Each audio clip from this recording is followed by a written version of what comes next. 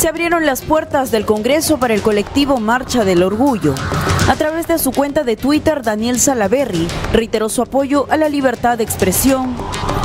El presidente del Parlamento autorizó que el colectivo LGBTI utilice la Plaza Bolívar del Congreso para realizar una manifestación pacífica este jueves 27 de junio entre las 12 y 2 de la tarde.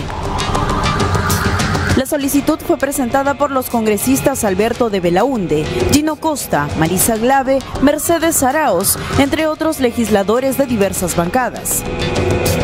Ellos pidieron que las voces de los miembros del colectivo LGBTI sean escuchados a fin de resguardar el enfoque de género y la lucha contra la discriminación por orientación sexual.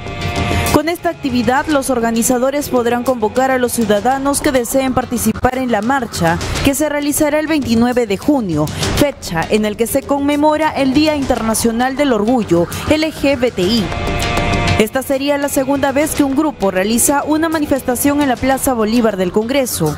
El pasado 24 de mayo, el colectivo Con mis hijos no te metas logró el acceso para llevar a cabo una manifestación que fue aprobada por el presidente del Congreso, Daniel Salaverry.